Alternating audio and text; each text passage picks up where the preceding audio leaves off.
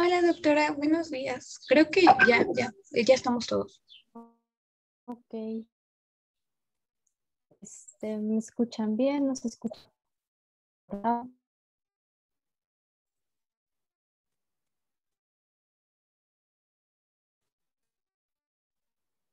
Como que Creo luego que se cortó un poco.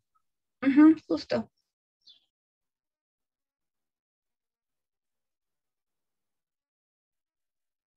Sí se escucha. A ver, Un poco cortado, doctora.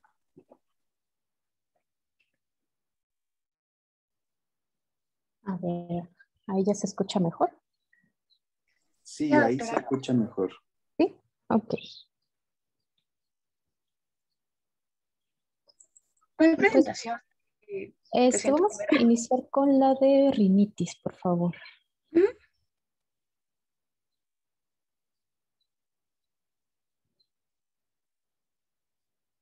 ¿Sí ven mi pantalla? Sí, ¿verdad? Sí. Ok. Ah, Te voy a pedir el control.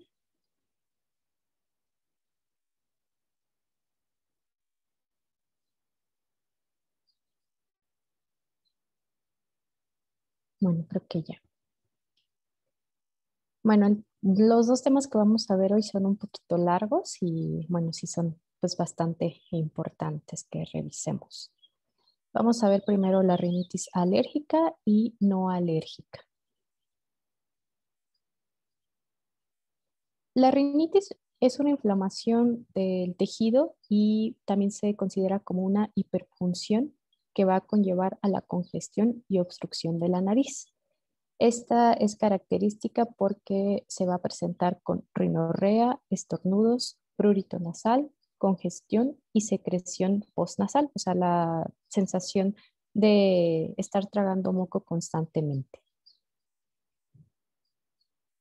La clasificación a grandes rasgos se divide en rinitis alérgica y no alérgica. La rinitis alérgica se clasifica en perenne o estacional. Actualmente no se usa ya tanto esos términos de perenne o estacional. Este, se usa como solamente para mm, caracterizar específicamente en qué momento los pacientes tienen mayor sintomatología pero este, ya con fines de tratamiento y diagnóstico se usa ya actualmente otra clasificación que más adelante se las voy a mencionar. La rinitis no alérgica pues va a ser todo lo que este, puede estar relacionado ya sea con infecciones víricas, bacterianas o micóticas, vasomotora que es una bastante común, este, puede ser también inducida por medicamentos, de forma ocupacional, hormonal este, puede ser por alguna otra causa irritativa como este, ambiental o de tipo atrófico. También existe una mezcla de las dos entre la rinitis alérgica y no alérgica que se clasifica como un tipo mixto. Y la rinitis no alérgica con síndrome eosinofílico es una rinitis que prácticamente en la cuestión de síntomas parece todo indicar que es una rinitis alérgica, sin embargo no hay componente sistémico, sobre todo con elevaciones de IG y esto al momento de realizar estudios complementarios como es este, la citología nasal, encontramos eosinófilos situados específicamente en la mucosa nasal. Entonces, este diagnóstico se conoce como rinitis no alérgica con síndrome eosinofílico o NARS.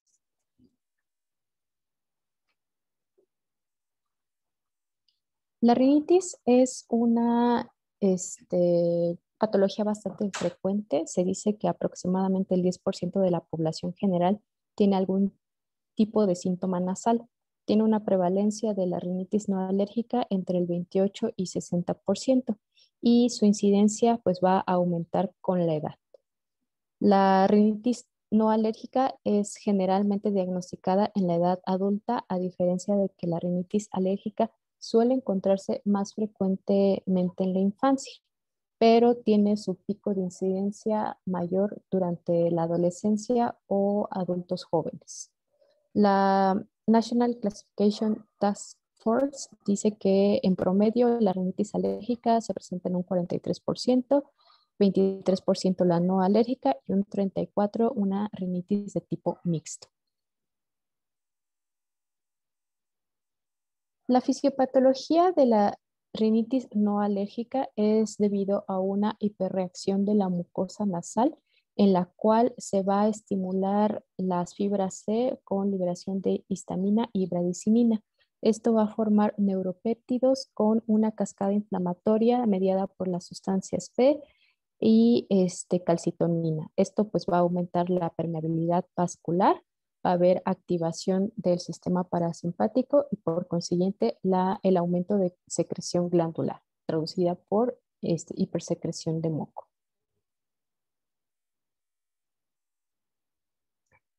La congestión nasal es dada por la dilatación de los vasos por los mediadores vasoactivos. La rinorrea este, va a ser por el trasudado tisular que se va a dar por toda la cascada inflamatoria y el prurito va a ser principalmente por la liberación de histamina, este, entre otras células que son los que la están estimulando, que son los mastocitos y basófilos. El diagnóstico lo vamos a establecer con dos o más síntomas nasales, que ya sea pueden ser congestión nasal, rinorrea anterior o posterior, estornudos frecuentes, estornudos en salva, que es cuando estornudan así uno tras otro seguido, por lo menos tres o cuatro seguidos, es prurito nasal y alteraciones del sentido del olfato. Cualquiera de estos síntomas puede presentarse por más de una hora en la mayor parte de los días. Dentro de otros síntomas faciales se puede acompañar de lagrimeo, este puede no ser solamente el prurito localizado en la nariz, sino también se puede encontrar en el paladar y los oídos o algunos otros síntomas como odinofagia, tos crónica, respiración bucal. Puede presentarse también ya como en la rinitis de tipo crónico fatiga, depresión, irritabilidad o ansiedad o alteraciones del sueño. Este, en los niños pues es muy común de que este, se caracterice también por dificultad en el aprendizaje, ya que constantemente están irritables, tienen mucho sueño, no se concentran y este, esto es pues muy importante tratar en los niños. El abordaje diagnóstico tenemos que preguntar por los síntomas, todos estos que ya mencionamos, el tipo de duración, o sea, desde cuándo este, ha iniciado los síntomas, si se relaciona con algún tipo de exposición, si por ejemplo a cambios de temperatura, irritantes ambientales, polvo, este, humedad, tenemos que estar preguntando si hay un factor desencadenante o atenuante. Si tiene que ver con algún tipo de patrón de cronicidad, si es predominante en la mañana, en la tarde, o si se ha notado que específicamente inicia con las variaciones estacionales, sobre todo pues los, este, los climas de que este, cálidos en primavera o en las de invierno. Y este, los qué tratamientos ha tenido hasta el momento. Dentro de las patologías asociadas existen alteraciones estructurales que no precisamente van a causar la rinitis, pero sí van a incrementar las molestias, como las desviaciones septales. Si hay una obstrucción significativa por la desviación, se suma, pues, aparte la congestión de la mucosa nasal, por lo tanto, pues va a tener aún mayor sintomatología de la obstrucción. Igualmente, si hay hipertrofia de los cornetes, esto pues va a reducir el espacio en el que va a pasar el aire a través de la nariz y por lo tanto pues también va a causar mayor molestia de obstrucción. En los niños pues es común que también se presente con patología este, amigdalina o adenoidea. En algunos casos de personas pues, adultas puede relacionarse con tumores o igual en la infancia, sobre todo por recién nacidos o este, de meses puede presentarse con atresia de cuanas. Entonces, realmente esto no es que condicione la rinitis, sino que va a aumentar la sintomatología obstructiva. También hay que valorar si hay algunas otras alteraciones inflamatorias que predispongan, por ejemplo, enfermedades granulomatosas, enfermedades autoinmunes o la poliposis. La rinitis vasomotora es una rinitis episódica. Generalmente está causada por alteración de la regulación autonómica. Es una respuesta que va a tener los vasos por estímulo irritativo, temperatura y polvo o este, calor. Es muy común que, sobre todo cuando uno llega a comer cosas como muy, calientes o muy picantes, este, o pues con cualquiera, este estímulo muy irritativo, por ejemplo, este, productos de limpieza, pues causa de repente este prurito nasal y empieza con, el, con la rinorrea. Entonces, realmente esto pues, es una hiperreacción de la mucosa. Hasta cierto grado se puede decir que es normal, en algunos casos es un poquito más este, predominante en otro tipo de personas y normalmente esta enfermedad suele tener de, ser de tipo crónico y pues más que nada a veces no se relaciona con causas inmunológicas, ni infecciosas, ni este, ningún otro cuestión de tipo alérgico, ya sea a nivel nasal o sistémico. Doctora, entonces comer chile podría generar una rinitis vasomotora porque es un producto irritante. Sí, realmente digo, es como hasta cierto grado normal que, este, que pase eso, ¿no? O sea, no se considera como tal algo patológico porque específicamente pues solamente va a pasar en esas ocasiones, ¿no? O sea, no es algo que realmente este, moleste tanto a las personas. Bueno, en algunos casos sí es como demasiada profus, demasiado este, profusa la rinorrea. E, entonces, pues más que nada en esos casos se puede dar tratamiento previo a que te expongas a lo que sabes que te está causando este, la molestia, ¿no? Por ejemplo, sí, cualquier irritante, comida muy caliente o comida muy picante. Inclusive también este, hay personas que con el ejercicio este, empiezan con rinorrea y es por eso, porque es una estimulación, este, sobre todo en este caso por la producción de mayor temperatura durante la, la realización del ejercicio. Gracias, doctora. Entonces, este, la otra patología que es la NARES, que es la rinitis no alérgica que está asociada a eosinófilos, esta pues solamente se sitúa en la nariz. Este, el diagnóstico lo establecemos con este, una citología nasal en el cual vamos a encontrar más del 20% de eosinófilos y este, este normalmente se presenta en 15% de los pacientes con rinitis no alérgica.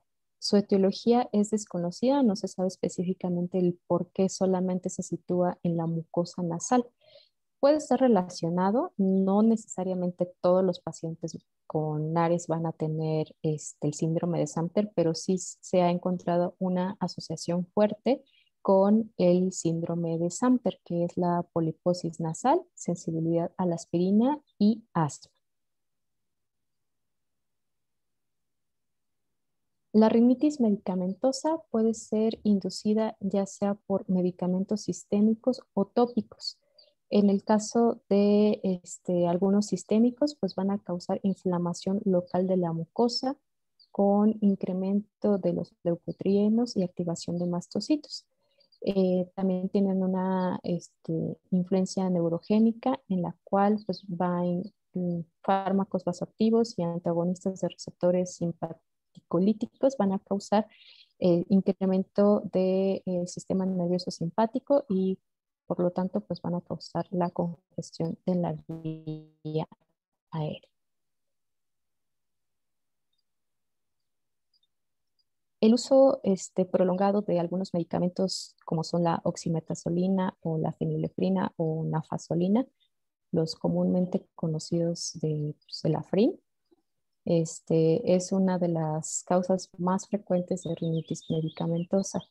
Este, estos medicamentos son alfa-adrenérgicos, van a causar sí una este, disminución de la obstrucción nasal bastante rápido, bueno, en un promedio entre 15 y 20 minutos de acción, pero son medicamentos extremadamente fuertes que van a saturar los receptores de la mucosa nasal y que a lo largo van a causar una tolerancia. Por lo tanto, después los pacientes en vez de solamente usar un solo disparo del de, spray para disminuir sus molestias de la obstrucción, posteriormente tienen que incrementar dos o tres. Entonces, este, de hecho, estos medicamentos pues no está indicado su uso de manera continua, este, solamente ciertos casos muy específicos los podemos usar y eh, no se puede usar por más de cinco días seguidos porque entonces hace un efecto rebote por la saturación de los este, receptores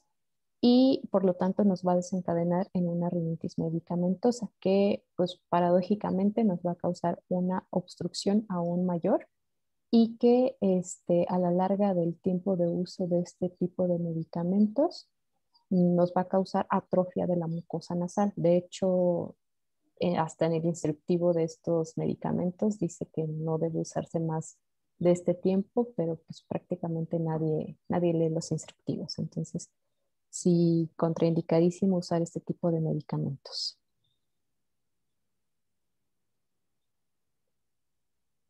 Dentro de otros medicamentos que pueden causar la rinitis medicamentosa, Principalmente se encuentran los YECAS, beta bloqueadores, antihipertensivos, anticonceptivos, psicotrópicos, algunos antiinflamatorios no esteroideos, aspirina y este, otros pues también que comúnmente se llegan a usar pues son los antitiroideos, los antidepresivos tricíclicos o los ansiolíticos.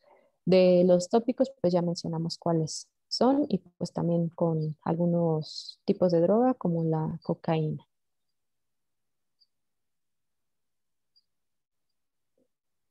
La rinitis atrófica es básicamente al contrario de todo lo que hemos estado viendo, de que hay un aumento de volumen y congestión de la mucosa nasal. Este normalmente cuando pierde es, las propiedades del epitelio de la mucosa se va a adelgazar.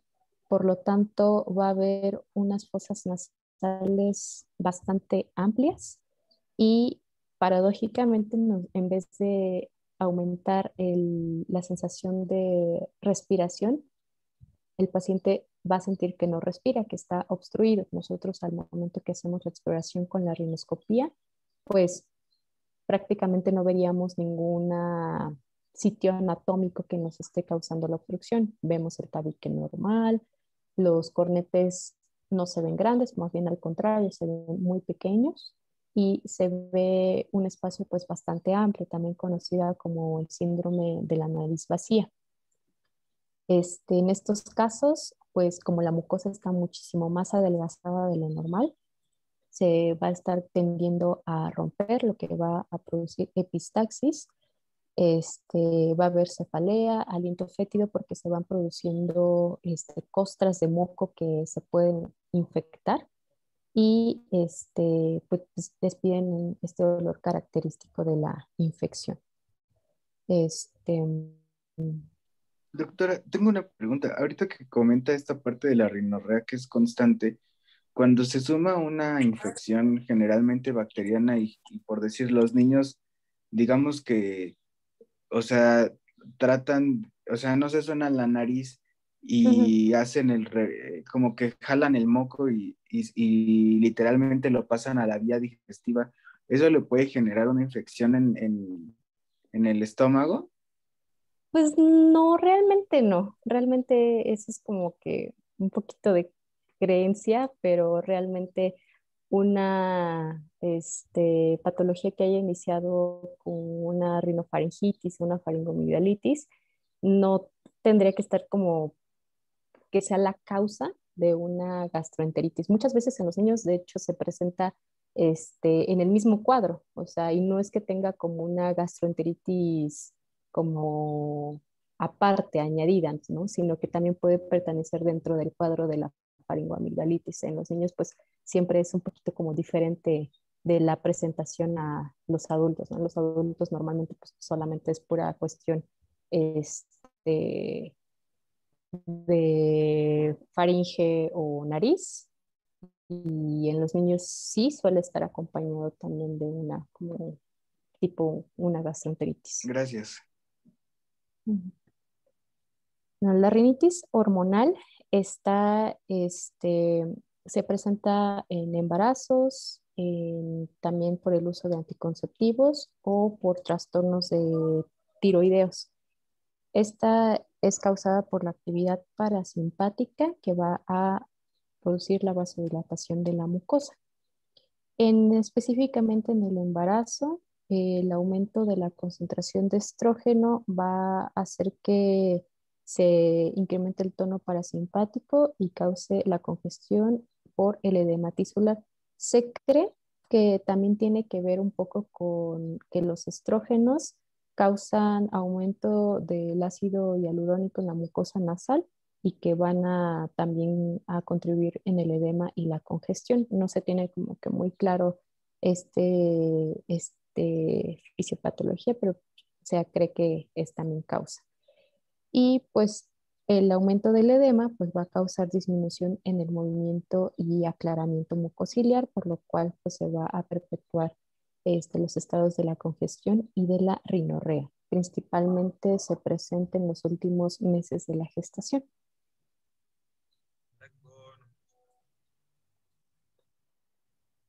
El tratamiento va a estar dirigido específicamente a la causa de la rinitis. Por eso es importante pues preguntar todo este si hay algo que esté exacerbando, que este o desencadene los episodios de la rinitis.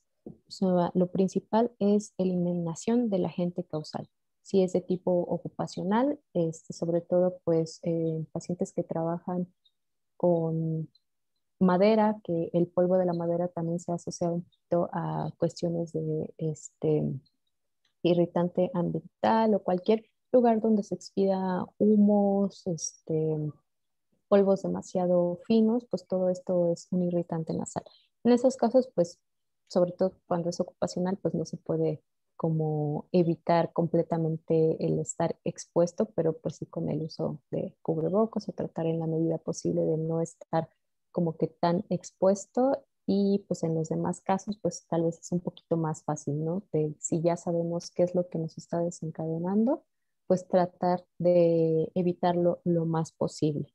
Este, si hay algún problema estructural que lo esté agravando, sobre todo pues la hipertrofia de los cornetes o la desviación septal, pues se trata eso. Y si hay alguna infección, pues este, también en este momento pues, se trata. Es muy importante comentarle a los pacientes que la rinitis pues no es una patología que se quite, sino que más bien se controla. Entonces, este, el que le hagamos cirugía de la desviación septal o de la hipertrofia de los cornetes no significa que ya con eso se van a quitar los síntomas nasales, ¿no? Más que nada van a contribuir a disminución de la obstrucción, pero pues aún va a continuar porque pues es un proceso completamente diferente. Va a continuar por la rinorrea, el prurito y pues esto solo hay que pues tratarlo en el momento que este, cause pues, problemas al paciente. Dentro de los tratamientos principales que se usan pues, son los corticoides nasales. Los más comunes son la fluticasona, mometasona y budesonida. En los niños es más este, seguro y recomendando, recomendado usar la mometasona y en el caso de embarazadas, la budesonida. Los antihistamínicos este, se pueden usar este, indistinto. Específicamente en el embarazo, los que son seguros son la loratadina, la cetiricina y la levocetiricina. Y pues también otros medicamentos utilizados son los antileucotrienos. Doctora, y, a diferencia de los, de los antiadrenérgicos que comentaba hace rato, este, por decir, el uso del esterimar y el agua de mar y esas cosas para, para la, cuando la mucosa está seca no generan ningún tipo de daño. No, de hecho, es, de hecho ese es también dentro del tratamiento eh, de lo mejor que se puede usar. Aparte del tratamiento de los medicamentos, el uso de los lavados nasales es primordial. Entonces, el estar hidratando la mucosa este, con las soluciones hipertónicas ayuda muchísimo al transporte y movimiento ciliar. Entonces, sí está este, prácticamente de primera línea y primer manejo, siempre va a ser pues este, los lavados nasales con soluciones hipertónicas. En ese caso, este, de los que venden este, en las farmacias, pues también tiene mucho que ver con la mercadotecnia. Este, básicamente nos venden el envase, ¿no? Porque es muchísimo más fácil andarlo trayendo en la mochila, en la bolsa y estar aplicándolo.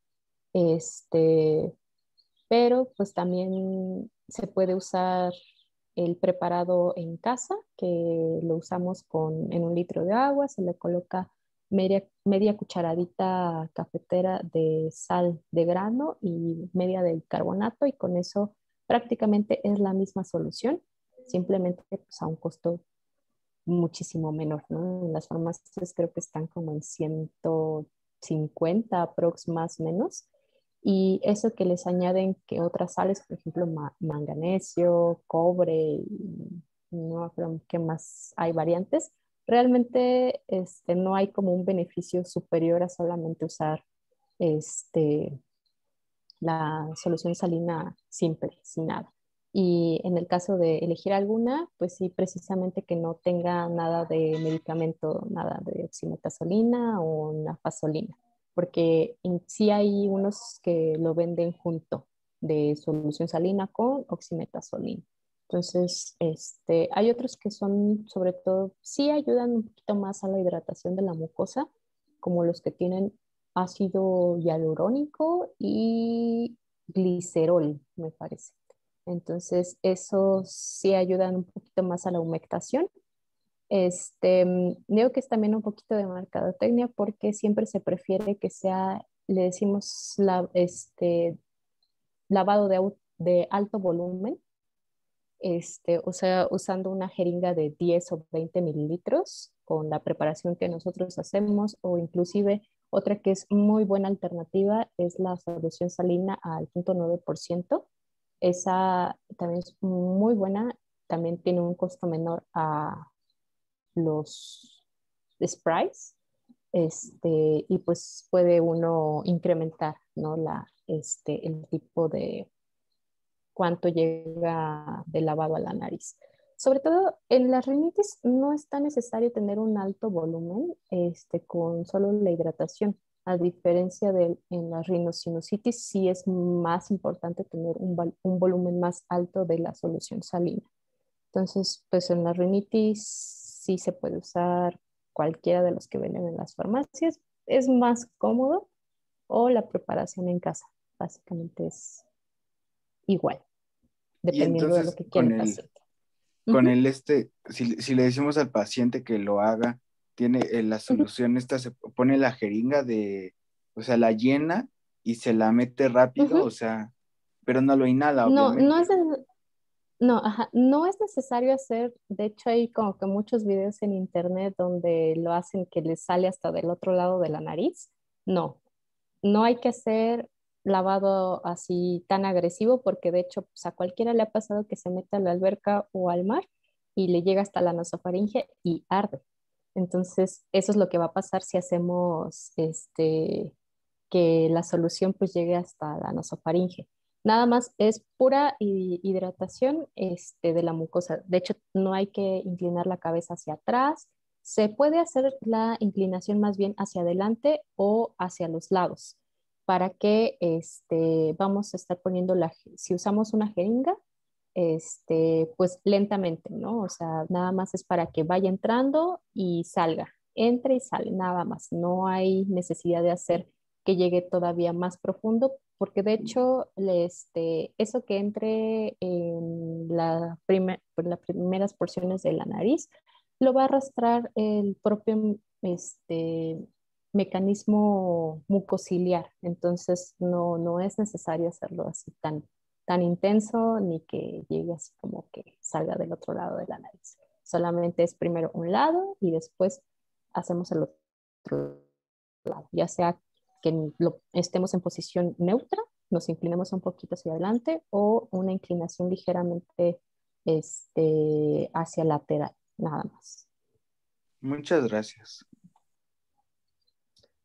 Entonces, dentro de otras complicaciones que se pueden presentar, este, rinitis de tipo crónico, es la rinosinusitis, una poliposis nasal, disfunción de la trompa de Eustaquio por la constante inflamación de la mucosa nasal, porque a veces pues esta no solamente se limita hacia la mucosa nasal, sino que también hacia la mucosa de la nasofaringe y que puede obstruir la trompa de Eustaquio.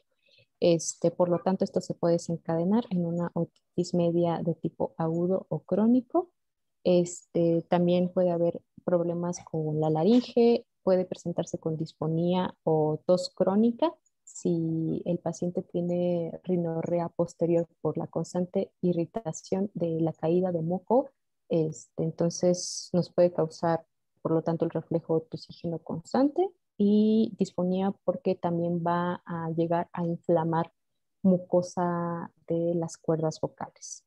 Y pues si no se tiene una respiración adecuada, pues esto puede causar también pues, alteraciones del sueño, se puede relacionar con el síndrome de apnea obstructiva del sueño y este, también pues, por consiguiente la fatiga de, de estos pacientes.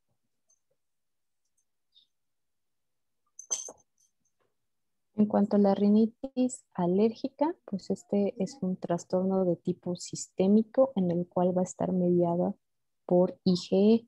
Está asociada muy frecuentemente al asma. Se dice que pues, existe lo de la marcha atópica, que son niños que inician en la infancia con dermatitis atópica. Posteriormente se les desarrolla asma y al último una rinitis de tipo alérgico. No necesariamente esto es así de ley. De hecho, puede que los pacientes hayan iniciado con asma sin datos de una dermatitis atópica y que después desarrollen una rinitis alérgica o al contrario, que, una, haya iniciado como una rinitis alérgica en la infancia y que después este, se produzca ya problemas de asma. Este, en este caso se dice que tiende a ser más perenne más que estacional, o sea que la perenne significa que no tiene como predominancia con la cuestión estacional, puede ser en cualquier tiempo, por cualquier cosa, se puede decir como de tipo idiopático, ¿no? Este, tiene también un factor genético bastante grande. Este, los pacientes también hay que preguntarles, sobre todo pues, a los niños, si ya es conocido que algún familiar, sobre todo papás o mamá, tengan diagnóstico conocido ya sea de asma, de atopia, dermatitis atópica o de una rinitis alérgica, porque esto va a incrementar la probabilidad de que el niño también desarrolle una rinitis de tipo alérgico. Este, está muy asociada a la cuestión ambiental, sobre todo en el hogar, pues con la producción del este, polvo este, normal del hogar, los ácaros, que sobre todo pues este, los encontramos en la cama, colchones, sábanas. Este, está asociado también a las épocas en las que se produce este, la polinización y con este, hongos homos.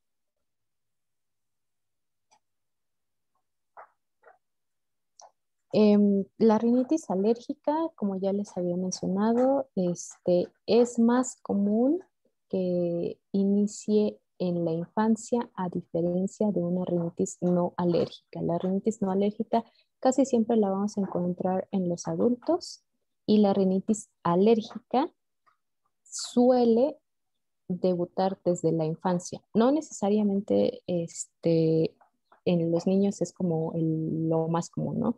De hecho, la edad más común en las que se presenta la de tipo alérgico es en la pubertad o en adultos jóvenes, ¿no? Pero sí se ha visto muchos niños que entre los tres años aproximadamente el porcentaje de rinitis alérgica es del 5%, entre los 6 y 7 años del 8.5% y pues mayor en las edades de la pubertad. Suele disminuir con el paso del tiempo, ya en las edades adultas suele disminuir la sintomatología, no desaparecer al 100%, pero sí disminuye síntomas. Es más común en hombres antes de la pubertad y mujeres después de la pubertad. La fisiopatología de la rinitis alérgica va a ser una hipersensibilidad de tipo 1 en la que va a estar mediada por la IgE. Los mastocitos y basófilos van a estimular la producción de histamina, serotonina y leucotrienos este, y las prostaglandinas.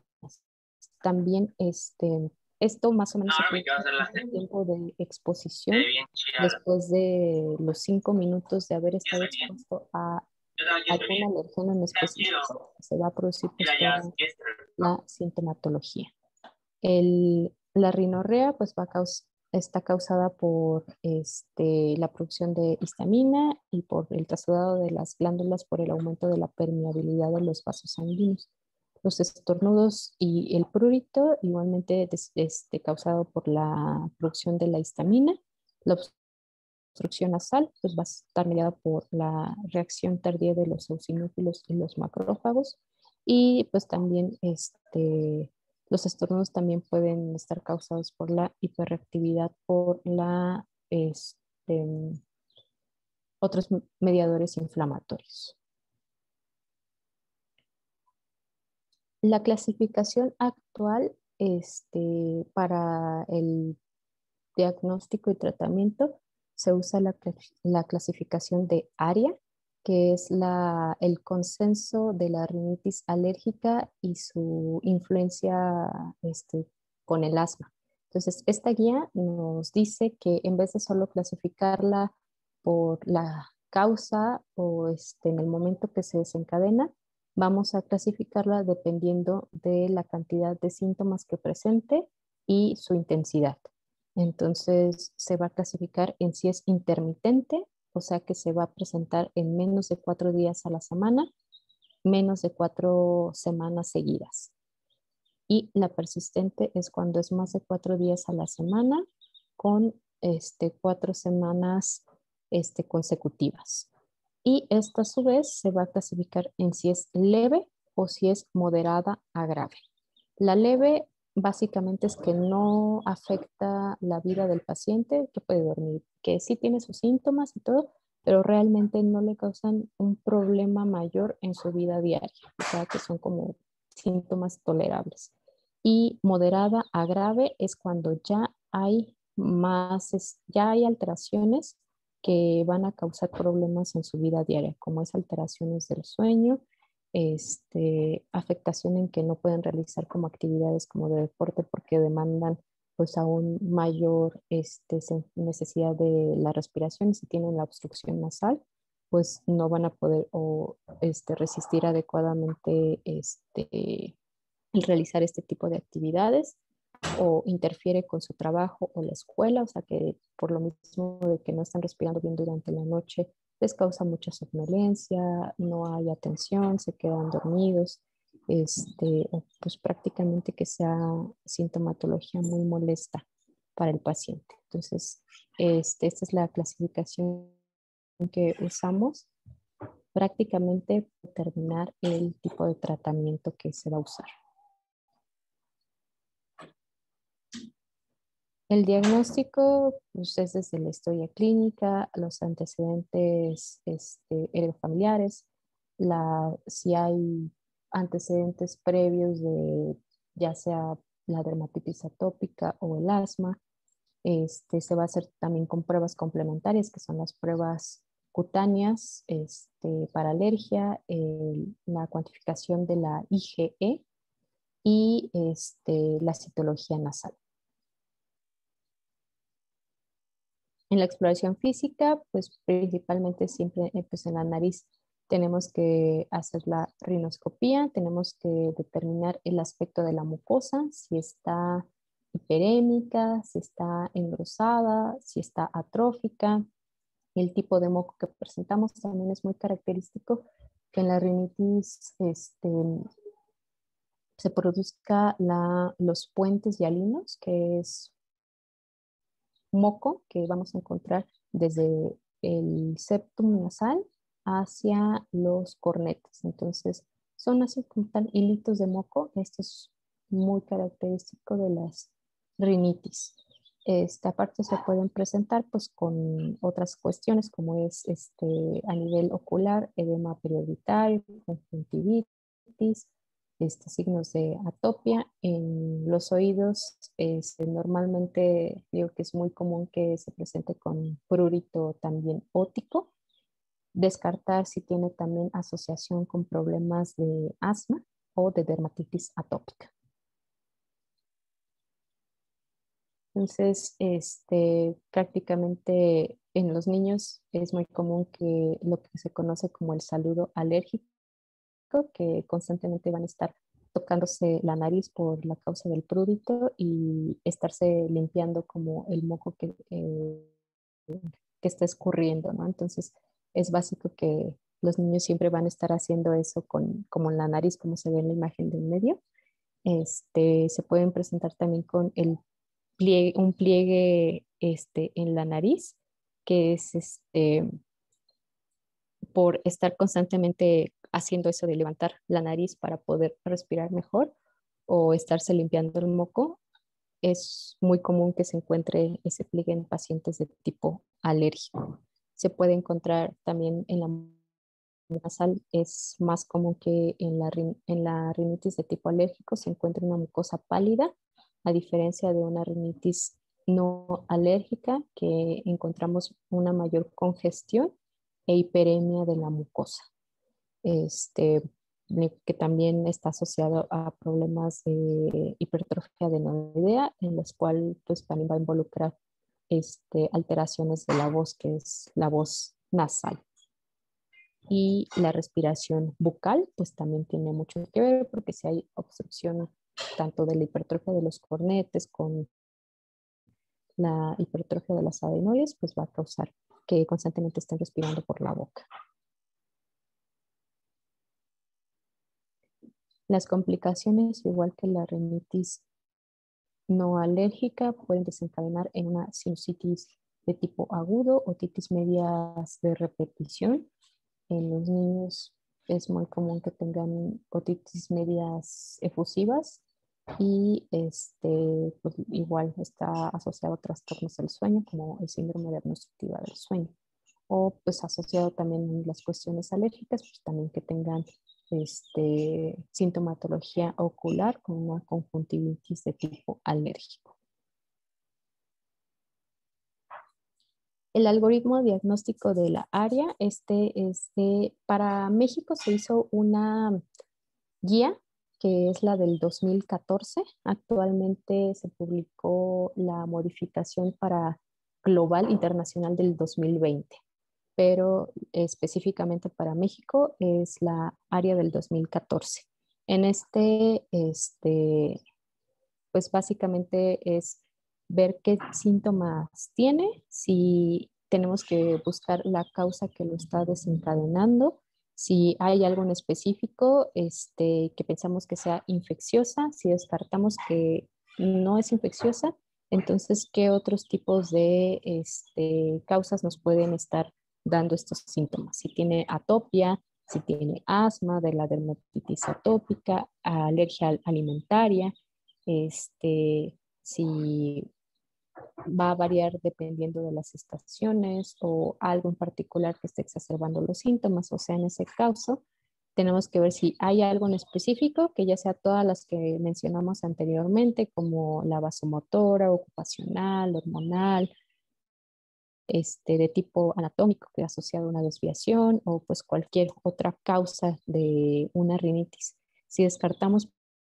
pues que realmente no se debe a algo en específico y que sea de probablemente de tipo alérgico, entonces es cuando este, pues el tratamiento lo vamos a establecer principalmente en las medidas de evitar los alergenos y pues dar el tratamiento específico en el dado caso que pensamos que hacemos las pruebas y por si nos resulta que es de tipo alérgico.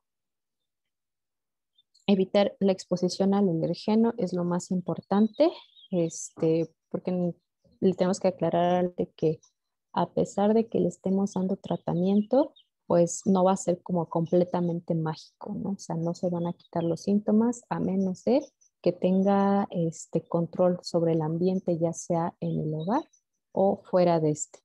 Que este, en el caso de la rinitis alérgica que esté causada por los ácaros, pues ya actualmente existen fundas antiácaros o este, productos de limpieza específicamente para los ácaros. Si hay demasiado polvo, pues el uso de filtrado de aire, disminuir los lugares donde haya humedad, sobre todo pues donde hay este, plantas, sobre todo no que las plantas realmente así como que causen todas algún tipo de alergia, sino que también pues, están asociadas a que hay moho o hay este, hongos por la humedad y este, dentro de los Mm, plantas que sí causan como mucha cuestión de alergia, pues son todo lo que tiene que ver con los que producen mucho polen o árboles como los pinos. Este, la cuestión de los animales, eh, más bien no es que propiamente el, el, pelito de los perros o gatos o cualquier otro animal causen la alergia, sino que más bien el, la caspa de cualquier animal puede llegar a causar, pues, desencadenar síntomas para las personas que están sensibilizadas a esto, ¿no? Entonces, no estrictamente le vamos a decir que no, no tenga mascotas. Si ya tiene una, pues no le vamos a decir que la, este, que la regale o la deje en otro lado, ¿no? Sino que más bien tenga un aseo, pues, más cuidadoso con el pelito del, este, con el, de los perros, gatos o lo que sea, que pues básicamente es tratar de tener un aseo constante, evitar que precisamente se les produzca la caspa o precisamente que no se duerman en el sitio donde está el paciente, ¿no? Pues la mayor el mayor tiempo este, es en la cama, entonces pues ahí sí completamente evitar que se duerman en las camas de los pacientes por el hecho de que pueden soltar por la caspa y pues va a producir las molestias de la rinitis. Damos tratamiento farmacológico y en algunos casos cuando no hay respuesta adecuada a esto o de inicio se cree que el problema pues eh, se diagnostica que es de tipo alérgico, pues se avanza hacia la inmunoterapia. Los antihistamínicos este, son de, las, de los medicamentos más usuales usados en la rinitis, ya sea alérgica y no alérgica. Hay este, de primera y de segunda generación. Los de primera generación suelen ser los que atraviesan la barrera hematoencefálica y causan este, sedación. Y este, estos pues realmente actualmente no están este, recomendado su uso por esa causa. Se usan mejor los de segunda generación que no atraviesan la barrera y no causan sedación. Una sedación muy mínima. Sobre todo los que se recomiendan, pues es la loratadina, cetiricina, levocetiricina, desloratadina. Hay infinidad de este, antihistamínicos de primera, de segunda generación. Y actualmente pues ya hay antihistamínicos de tipo tópico, que es la acelastina. también hay que tomar en cuenta que estos medicamentos pues, van a tener también un efecto anticolinérgico que nos va a producir en algunos casos pues boca seca o visión borrosa por la este, precisamente disminución de la producción de moco. Los antagonistas de los receptores de leucotrienos se han usado también, eh, específicamente el montelukast. Este, tiene un beneficio sistémico en asociación con los pacientes que tienen asma, pero sin embargo no hay evidencia que sean mejores a los antihistamínicos ni que el uso de antihistamínicos con montelukast cause una mejoría significativa. Realmente se considera que es hasta menor la eficacia de los antileucotrienos que de los antihistamínicos.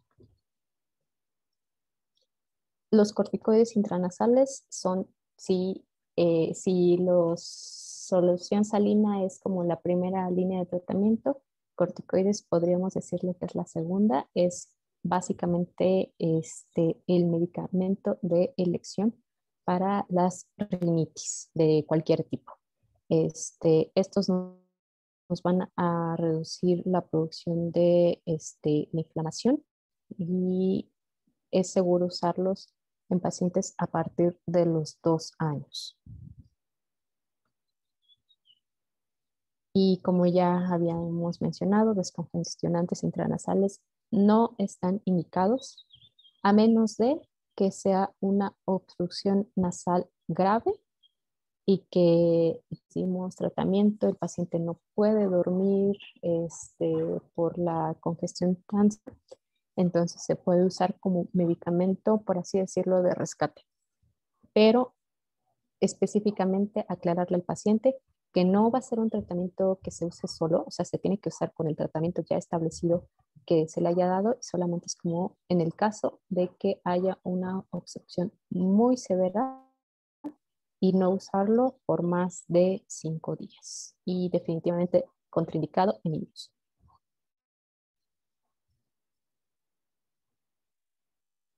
La inmunoterapia específica, pues es cuando este, normalmente la damos después de haber dado tratamiento y que no hay una mejoría significativa, continúan con este, problemas de la rinorrea, los estornudos, la obstrucción, y ya hicimos las pruebas, hay una IgE elevada, hay este, mandamos a hacer las pruebas cutáneas de alergia, pues ya ahí nos salen positivas, a qué específicamente son alérgicos, entonces ahí es cuando se benefician más de la inmunoterapia, cuando ya se sabe a qué, a qué tipo de alergeno específico.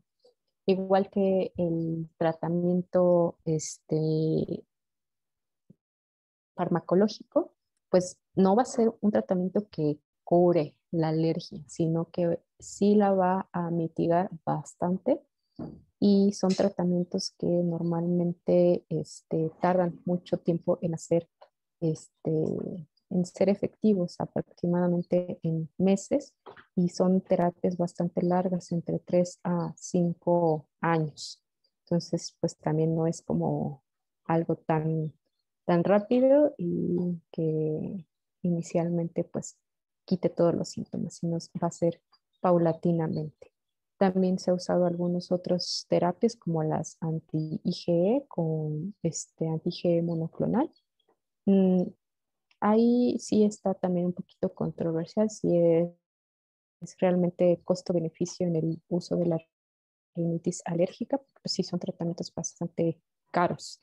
Este, está aprobado en el tratamiento con el asma, entonces pues si tiene asma más rinitis alérgica, pues sí es una opción viable.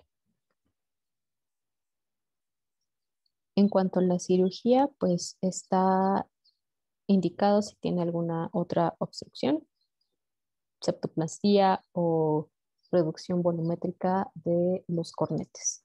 En el caso de los cornetes no es tampoco un tratamiento definitivo porque el estímulo constante con los alergenos o todo lo que cause la vasodilatación y la congestión y el edema en algún tiempo va a hacer que vuelva a crecer los cornetes. Entonces puede ser que lo hagamos en algún momento y que después en un promedio 3, 5 años otra vez tengan una obstrucción de los cornetes y se tenga que volver a hacer la reducción de estos. La guía área del 2020 este, establece el manejo más encaminado al acercamiento del paciente. Entonces, en esto, de hecho, hay una aplicación que lanzaron recientemente, este, en el cual mediante una escala visual análoga mm, clasifica cómo se siente el paciente eh, en cuanto a los síntomas, ¿no?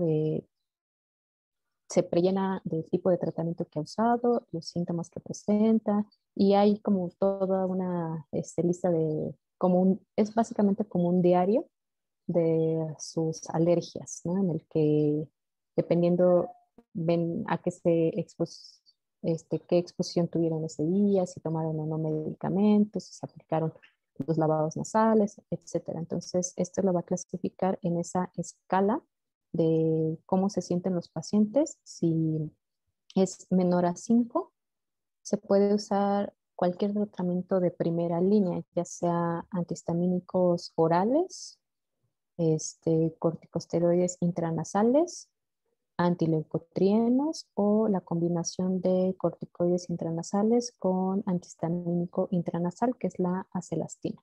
Entonces, en pacientes que tienen una rinitis este, leve, intermitente, se puede usar cualquier tratamiento en monoterapia. Este, se ha optado por usar los antihistamínicos este, para disminuir la sintomatología, específicamente cuando saben que van a estarse exponiendo a la causa ¿no? de los síntomas de la rinitis. Y en el caso de una rinitis intermitente este, con síntomas moderados a graves, igualmente se puede usar pues, cualquiera de estos.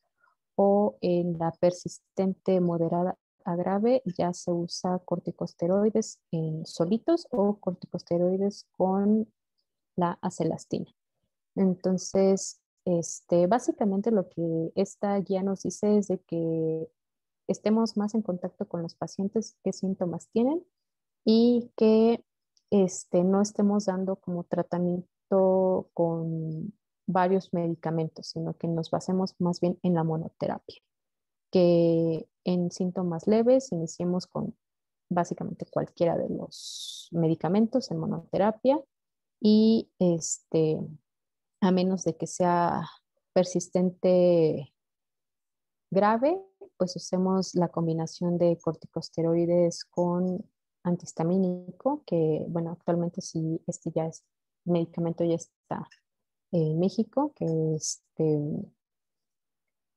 es el medicamento que vamos a usar, pues solamente si son síntomas como que muy graves. Eh, realmente se dice que el uso de corticoides solos siempre va a ser superior a usar combinaciones de antihistamínicos con corticosteroide, que realmente no hay una mejoría significativa a que si solo usamos corticosteroide nasal solo. Este, pero sí hay una significante, este, es mejor usar corticosteroide con, en combinación con antihistamínico intranasal, que esté en un solo medicamento, a solo el uso de corticosteroides solo en pacientes que tienen rinitis de tipo persistente, moderado a grave. Y pues a menos de que ya dimos el tratamiento, en estos casos, pues en las guías anteriores decía que valoráramos a las tres semanas, en estos casos dice que valoremos en menos tiempo, entre 48 a 72 horas. Si disminuyen las molestias, bajar este, el escalón o la dosis de los medicamentos, o a menos de que no haya mejoría, este, tenemos que aumentar la dosis de los medicamentos o cuando ya dimos pues, tratamiento este, con los corticosteroides, con antihistamínicos, y sabemos que es de tipo alérgico, pues básicamente enviarlos a inmunología para las pruebas cutáneas. Entonces, como conclusiones de esta guía, dice que los antihistamínicos orales o intranasales pues son menos efectivos que los corticoides intranasales. Este, en pacientes con rinitis grave, los corticosteroides representan la primera línea de tratamiento. Este, pero pues es importante igual aclarar que no son, no con una sola aplicación y pocos días van a tener el efecto deseado. Normalmente como son tiempos prolongados de usar estos medicamentos, aproximadamente tres semanas, un mes, es cuando ya empieza el efecto adecuado con el uso de los esteroides intranasales.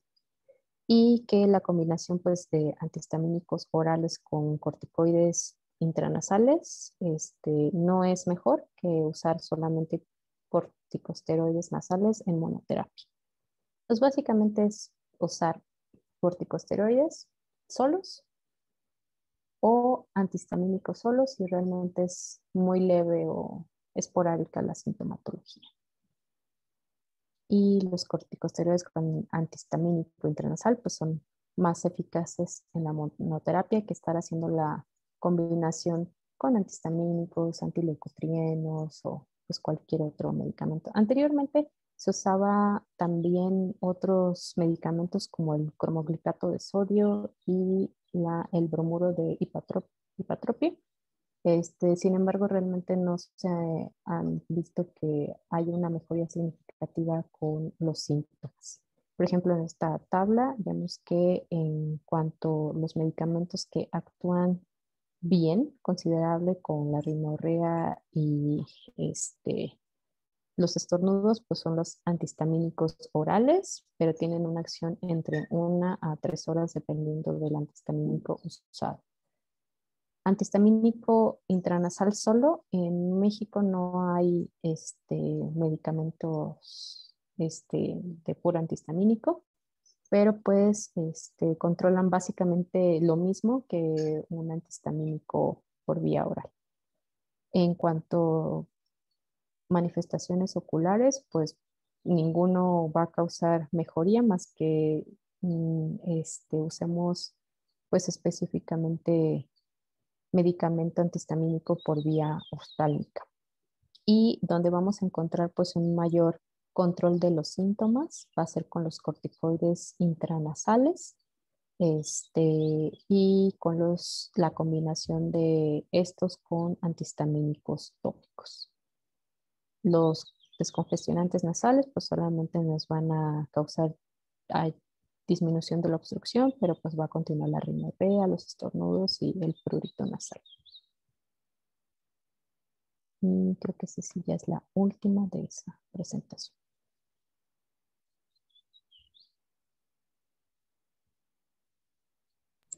¿Me gusta que proyecte la otra doctora? Sí, por favor.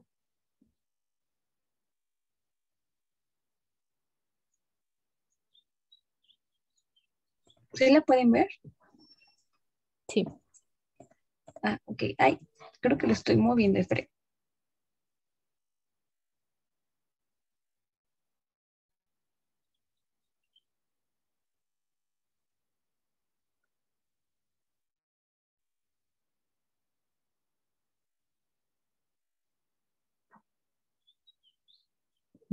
entonces este, vamos a ver ahora la rinosinusitis aguda y crónica.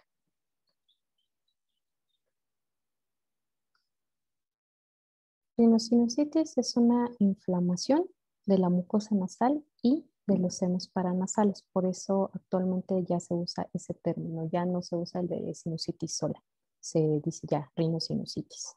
Este, la aguda se presenta aproximadamente entre el 6 al 15 y la crónica entre el 5 al 12%. Para que esté funcionando adecuadamente este, la producción de moco, su liberación y su paso a través de los senos paranasales, se necesita que el complejo osteomatal, que es todas estas estructuras que son la desembocadura de los senos paranasales, estén permeables que el transporte mucociliar esté normal, que no haya ninguna alteración en velocidad o funcionamiento y que la cantidad y calidad de las secreciones nasales pues sean normales. La, se puede clasificar en de tipo infeccioso, de tipo alérgico o de tipo mixto.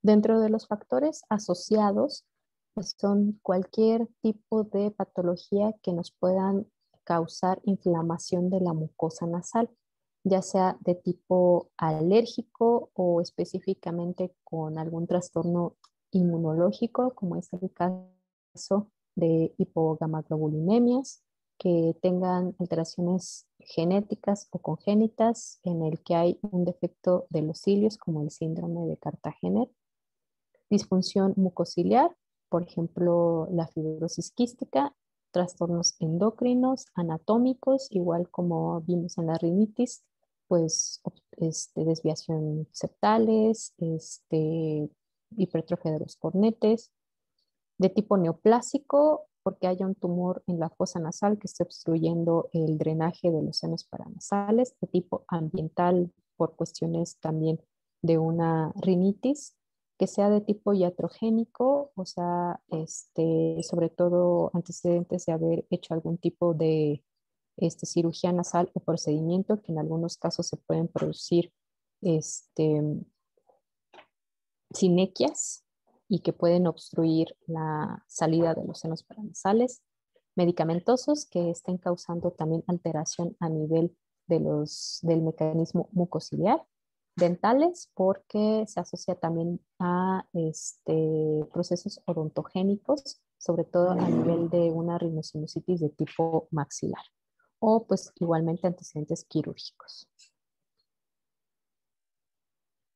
La fisiopatología de la rinosinusitis es este, causada, se dice que inicialmente por una infección viral, lo cual va a causar una inflamación y edema con alteración en el drenaje. Al momento de que se aumenta el volumen de las estructuras del complejo osteomeatal, van a obstruir el drenaje, por lo tanto van a alterar la salida del moco y va a producir que este, no se libere, se produce hipoxia en el tejido, produciendo un trasudado y aumento del espesor del moco, lo que nos causa alteraciones en la inmunidad y sobreinfección bacteriana, este, con la consiguiente, este, el, que se desencadene un proceso inflamatorio. Esto normalmente se dice que se produce entre 7 este, siete a 10 días en promedio de haber tenido una causa de tipo viral que haya iniciado como una rinofaringitis o una rinosinusitis de tipo viral y que al no haber una resolución adecuada de esto, pues en este promedio pues nos va a causar una rinosinusitis de tipo bacteriana. La rinosinusitis crónica básicamente es porque se perpetúa los estados inflamatorios, en el cual hay edema inflamación de la mucosa, con los cierres del ostium, hay estasis, hipoxia, la sobreinfección constante y la disfunción del mecanismo mucociliar, con cambios en la integridad de la barrera mecánica de la mucosa nasal. Entonces, el, como ciclo que va a tener este, estos tipos de padecimientos es la congestión con retención de moco, pensamiento de secreciones, alteración del intercambio gaseoso, va a dañar los cilios y la mucosa, va a perpetuar la inflamación y la sobreinfección bacteriana.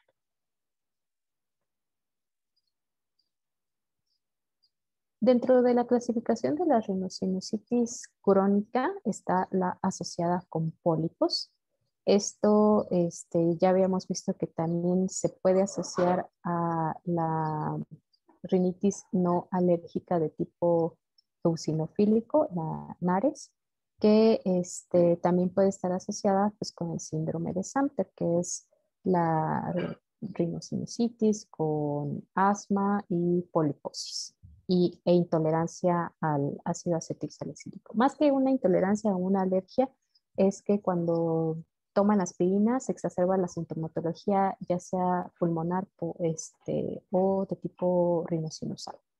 Se desconoce específicamente el por qué este, se producen los pólipos, pero pues se cree que al tener una inflamación de tipo crónico va a causar proliferación y edema del estroma de la mucosa, lo que se va a degenerar y este, va a causar pues este crecimiento de pólipos. En cuanto a la etiología de tipo bacteriano, en las agudas, este, mm, principalmente es el Streptococcus pneumoniae, Anopheles influenza, y en las crónicas básicamente es lo mismo, este, pero podemos tener también otros como son la Klebsiella, Enterobacter o también específicamente en las crónicas se cree que hay una gran influencia de los biofilms que son películas de polímeros que se van a producir sobre este, la capa mucosa de donde van a estar alojadas las bacterias y que esto nos causa mayor problema para su eliminación. El cuadro clínico va a presentarse con obstrucción nasal, rinorrea anterior o posterior, pero va a ser de tipo mucopurulento, plenitud y dolor centrofacial. Esto es este, muy común que las personas nos comenten que al momento de que se agachan este, o se inclinan, sienten como la cabeza muy pesada o como si se les viniera a, a caer la cabeza. Eso es como común que mencionen los pacientes. Pueden presentarse con algún grado de hiposmia o anosmia, este, también está asociado a sintomatología faringolaringia con odinofagia, pueden presentarse tos, disfonía, este, plenitud óptica por la obstrucción de la salida de la trompa de Eustaquio y este, sintomatología general, más que nada pues, malestar general o en algunos casos de fiebre. Y este, normalmente eh, es como el curso es una infección respiratoria que al inicio de tipo viral que va a persistir o va en más de 10 días o va a empeorar entre el quinto y séptimo día. El diagnóstico lo vamos a establecer con los hallazgos de la historia clínica y la exploración física. En la exploración física, en la rinoscopía anterior, pues vamos a ver la salida del moco a través de los meatos de tipo mucopurulento o ya sea sobre los cornetes eh, inferior o medio. Se va a realizar la rinoscopía anterior endoscopía en casos necesarios. Este, tenemos que valorar si hay presencia o no de pólipos. Los pólipos básicamente se ven como tumoraciones que vienen del techo nasal, que son prácticamente muy parecidos a una uva pelada. Así se ven los pólipos. Este, no está indicado hacer cultivos de la secreción a menos de que ya se haya dado tratamiento antibiótico y no haya mejoría de la sintomatología. Entonces se opta por realizar cultivos. Radiografías mm, sí nos ayudan un poquito a la complementación diagnóstica, pero realmente no son como este, de uso muy frecuente debido a que hay falsos positivos en un promedio de 20 a 40% y falsos negativos en 25%, porque va a depender también mucho de eh, el técnico que haga este, las placas. Y si el paciente se movió, si se interponen con algunas otras estructuras óseas, pero puede ser este, de ayuda complementaria, pues el uso de las radiografías en proyección de Butters y de Este, digo, no hacemos el diagnóstico con radiografías, o sea que si vemos algo en la radiografía y realmente no hay síntomas, no vamos a hacerle caso específicamente solo a lo que vemos la radiografía, sino que es más bien el complemento con el diagnóstico de la exploración física y por pues, los síntomas del paciente. En los casos que realizamos tomografía es más que nada para ver la extensión de la enfermedad, que nosotros estemos pensando que hay alguna complicación, estemos pensando ya en algún procedimiento quirúrgico o que específicamente pues veamos si sospechamos que es de tipo odontogénico por algún tipo de este, extracción dental, que en algunos casos es muy delgado el suelo del seno maxilar, que es el piso pues, de, este, de la dentadura específicamente donde están los molares, pues puede ser como un poquito más delgado y que puede hacer, causar desde la infección odontogénica pasarse a el seno maxilar. Entonces, tomografía igual solamente es como de confirmación, de extensión y si pensamos hacer algún tratamiento específico. Doctora, entonces la forma como diagnosticamos si es por clínica. Clínica. Sí, o sea, vamos a hacer así completamente este, clínico y ya solo como complemento que queramos verificar alguna estructura, este, ya podemos pedir ya sea las radiografías o tomografías. La tomografía pues es muchísimo más específica y podemos ver pues en todas las dimensiones este, todos los senos paranasales, ¿no? A diferencia de las radiografías, como vemos en la imagen, que nos quedan un poquito cortas porque pues no vemos las dimensiones de los senos, a veces se interponen este, otras estructuras, este, dependiendo la posición del paciente, este, va a depender también el tipo de técnica, entonces sí se, sí se pueden usar como complemento si tenemos por ahí alguna duda, pero es clínico, diagnóstico. Entonces la proyección de Baders va a ser la mentoplaca en el cual vamos a ver los senos frontales, parcialmente el seno esfenoidal y los senos maxilares.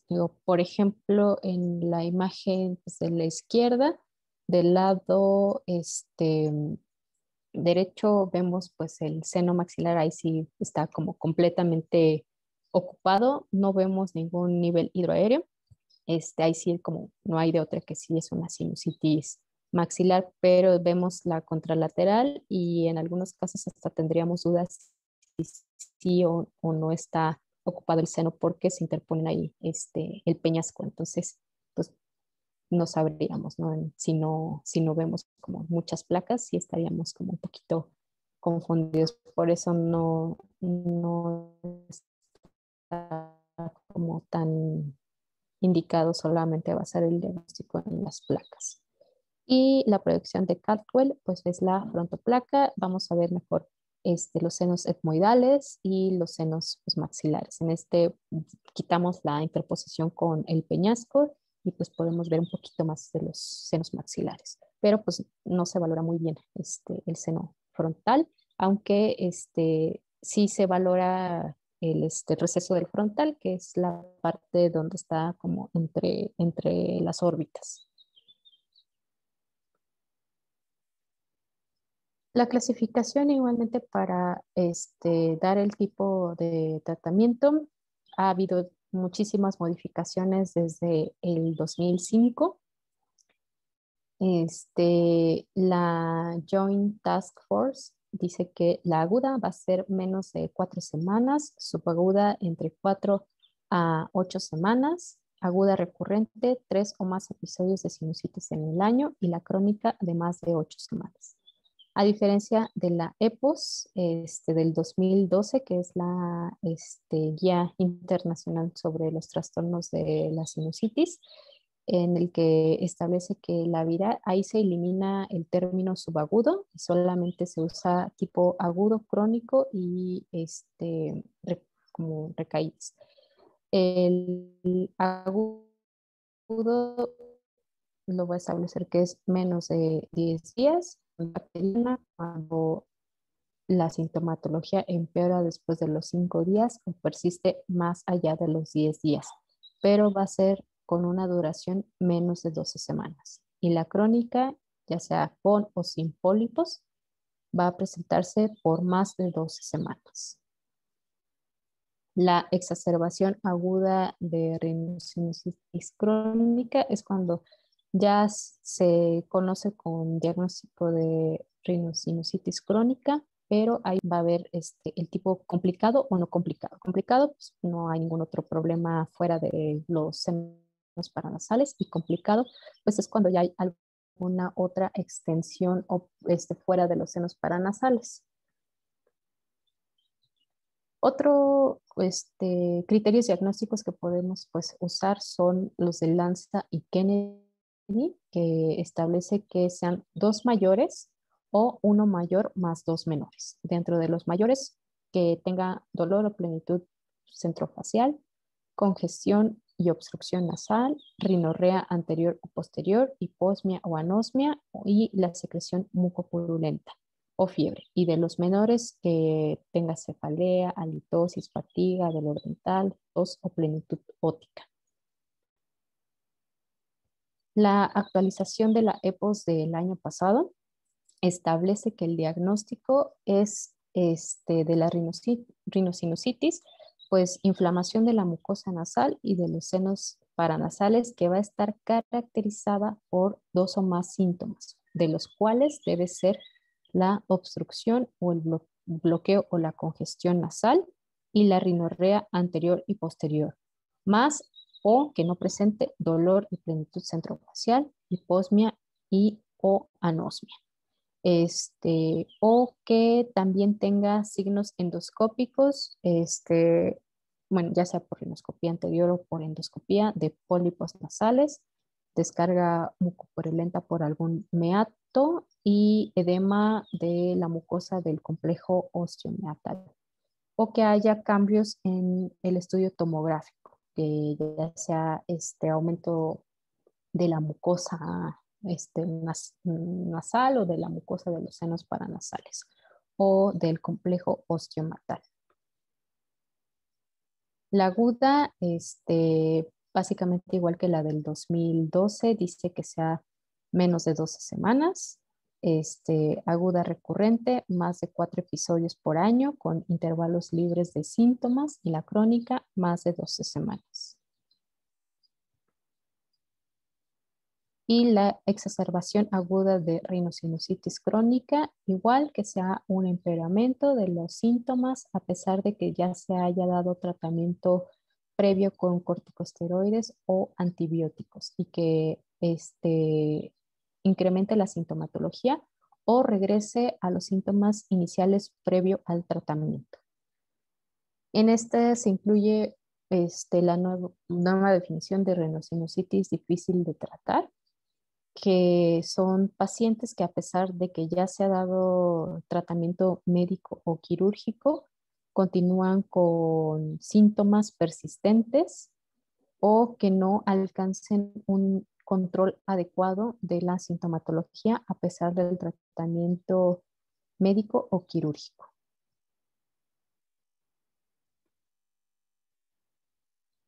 Igualmente, la, este, introduce los conceptos de una rinosinusitis crónica de tipo primario, que es la, lo va a dividir en localizada o difusa. Localizada es que sea unilateral, difusa bilateral y que tenga asociación o este, con algunas otras enfermedades, este, por ejemplo, en pacientes con rinosinusitis fúngica alérgica o una rinosinusitis aislada y en la difusa que está asociada a rinosinusitis con pólipos o que este, tenga que ver con fúngica alérgica o hay alguna enfermedad este, alérgica sistémica o que tenga que ver con este, eosinófilos a nivel nasal. Y la tipo secundaria igual se divide en localizada, que porque haya alguna patología local que esté condicionando la rinosinusitis, por ejemplo, las infecciones odontogénicas, un tumor o por cuestiones de este, de hongos como la bola fúngica o que sea de tipo difusa, que esté causada por algo mecánico en el que haya este, enfermedades que estén alterando el movimiento mucociliar, como discinesias, que también esté asociado, asociado, a fibrosis quística o de tipo inflamatorio, o sea que esté relacionado a algunas otras inflamatorias este, de tipo sistémico, como la enfermedad de Wegener o el Churg-Strauss, o de tipo inmunitario debido a una inmunodeficiencia este, selectiva. El tratamiento inicialmente para una rinosinusitis de tipo agudo, la guía EPOS del 2020 dice que no está indicado el uso de antibiótico terapia porque es una entidad que tiende a la resolución. Entonces, solamente se va a dar tratamiento con los lavados nasales y los este, corticosteroides intranasales, a menos de que este, empeore en cinco días o persista más de 10 días la sintomatología, entonces se puede dar antibióticos. Más que nada, en pues, las guías actuales en general de todo es, van en contra del uso indiscriminado de antibióticos y del uso de polifarmacia, o sea, de usar muchos medicamentos, sino que basarnos solamente en monoterapias de tratamientos y solamente usar los antibióticos realmente cuando los necesitamos, no de siempre. En el dado caso que sí necesite antibiótico, el tratamiento de elección es con amoxicilina con ácido clavulánico o como terapia alternativa la doxiciclina. También como alternativa se puede usar cefalosporinas de tercera generación como la cefixima pero este, hay, tienen este, resistencia para Streptococcus pneumoniae, por lo que se ha optado por la combinación de cefalosporinas con clindamicina este, como tratamiento empírico. Los macrólidos no son este tratamiento empírico de elección, por lo mismo porque hay muchas cepas resistentes, este, pero sí se han usado como este, tratamiento coadyuvante en los pacientes con rinosinusitis crónica porque este, se cree que los macrólidos pues también tienen influencia antiinflamatoria en este tipo de patología. Entonces sí se usan, pero igual en la combinación con algún otro antibiótico, no como monoterapia ni como de primera elección en tratamiento empírico. Otro tratamiento que se puede usar, que también este, como tratamiento empírico, son las quinolonas respiratorias, el moxifloxacino o el levofloxacino. Este, cuando vamos a pensar en el cambio de antibiótico, si iniciamos un tratamiento empírico, es cuando no hay mejoría entre en 3 a 5 días iniciado el tratamiento. Entonces, en estos casos que no hay mejoría o empeora, hay que sí valdría la pena tomar algún cultivo y este, hacer el cambio de antibiótico específico para su sensibilidad. Tratamiento de elección, irrigaciones con solución salina, solución salina ya sea al 0.9%, las este, soluciones preparadas en casa o este, les digo que también se puede usar los preparados de la farmacia, solamente que en este caso se opta por un mayor volumen, ¿no? Entonces, sí nos quedan un poquito cortos este, con los sprays que venden. Y los esteroides tópicos también siempre van a ser de los tratamientos de elección, ya que van a reducir la inflamación de la mucosa y este puede ser cualquier cualquiera, fluticasona, budesonida, este, mometasona. Eh, y antihistamínicos no son actualmente realmente este, de uso porque como hay alteración en el transporte mucociliar, entonces este, en vez de reducir el moco, lo deja estancado, ¿no? Entonces, sí no se produce como más moco, pero el que ya existe se queda ahí estancado, no hay una salida adecuada de este, entonces se perpetúa ahí el proceso inflamatorio y de la estasis de, los senos paranasales. Entonces, no está indicado el uso de antihistamínicos las irrigaciones nasales ayudan muchísimo al mejorar el transporte mucociliar. Entonces, tratamiento siempre es irrigaciones, esteroides tópicos y, si lo requiere, antibiótico terapia.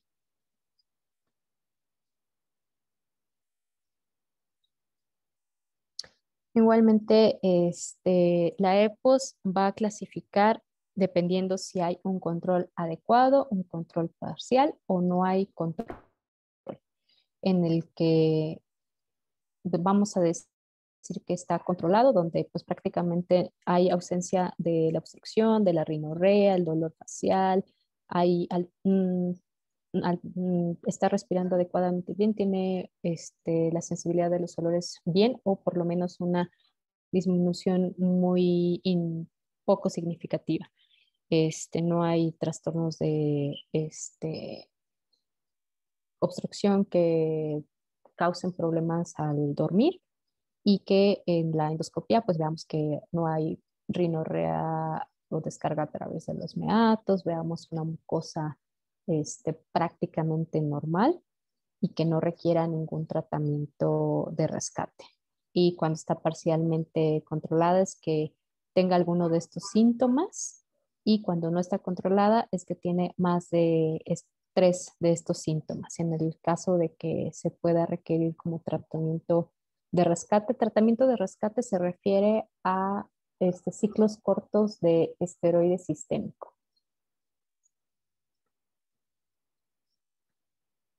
La cirugía este, se va a ver si tiene algún trastorno anatómico que esté también condicionando a la obstrucción de los senos paranasales, que sea lo mismo, una desviación septal muy importante, que haya este, hipertrofia de los cornetes, este, pues hay que corregir estas alteraciones. En el dado caso de que ya dimos tratamiento por lo menos durante unos tres meses, en el caso de una rinosinusitis crónica, este, y no haya mejoría de la sintomatología, la tenemos en clasificación como no controlada, entonces ya es cuando se puede optar por una cirugía endoscópica de los senos paranasales. Se tiene que valorar también si es de algún tipo de componente alérgico o fúngico, si biopsias cuando sospechemos de que, por ejemplo, queremos descartar que tenga el paciente problemas con los biofilms o pues en el dado caso de que definitivamente con los pacientes que tienen rhinosinusitis crónica con pólipos, los pólipos este, son muy difíciles de erradicar. Estos normalmente se controlan bastante bien con los esteroides inhalados y cuando son extremadamente grandes que se obstruyen pues toda la fosa nasal, ese también este los pólipos siempre se presentan de forma bilateral. Cuando es unilateral, hay que sospechar que no es un pólipo, es otro tipo de tumor. Entonces, pólipos siempre van a ser de tipo bilateral, vamos a clasificarlos como inician siempre en el techo de la nariz, van a ir descendiendo, entonces vamos a decir su obstrucción dependiendo el porcentaje que está obstruyendo, si está del 20%, 50%, 90%. Entonces, en pacientes que tienen una obstrucción del 90 al 100% en el cual no pasa absolutamente nada de aire por los pólipos, se puede dar el tratamiento de rescate ya este, con esteroides de tipo sistémico, este, ciclos cortos para ayudar a disminuir este, el de tamaño, los pólipos no se van a quitar, pero sí van a disminuir de tamaño. Y pues en este caso el tratamiento es hacer la cirugía endoscópica de los senos paranasales, que aún así, aunque realizamos el tratamiento quirúrgico, este, suelen recidivar los pólipos. Las complicaciones pueden ser, las más frecuentes son las de tipo orbitario, en el cual hay este, dehiscencia hacia la lámina pirácea, se este, introduce ahí eh, las secreciones, se puede hacer una, este, una colección inclusive de pus dentro de la órbita. Entonces, en esos casos, pues hay que hacer este, también tratamiento de drenaje de, la, de donde esté la colección de pus.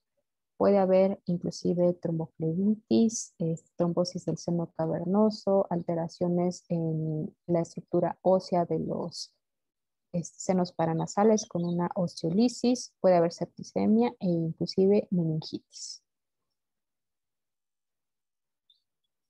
Y este, igual solo para mencionar aparte, ya habíamos hablado un poquito del rinoscleroma este, nasal, que como habíamos visto en patología este, faringolaringia, este, a veces, pues digo, no solamente se sitúa en ese lado, sino que es este, prácticamente en cualquier parte del sistema respiratorio. Inicialmente se localiza en la nariz, causada por la Klebsiella rhinoscleromatis, y pues tiene sus tres etapas, ¿no? De las, la catarral o exudativa, la proliferativa o granulomatosa y la cicatrizal. Esta es una patología demasiado característica de que este, vamos a ver atrofia de la mucosa nasal con la producción de las costras y el olor fétido. Este, en estos casos, pues hay que dar tratamiento con cefalosporinas, tetraciclinas o streptomicina durante tiempo prolongado. Y es la última de la rinocerosis.